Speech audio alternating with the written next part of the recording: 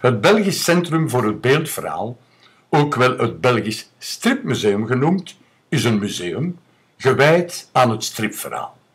Het is gelegen in de Zandstraat 20 in Brussel.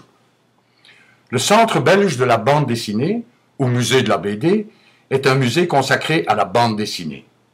Il est installé à Bruxelles, rue des Sables, dans le bâtiment Art Nouveau, conçu par Victor Horta en 1906 pour abriter les grands magasins de tissus Woki.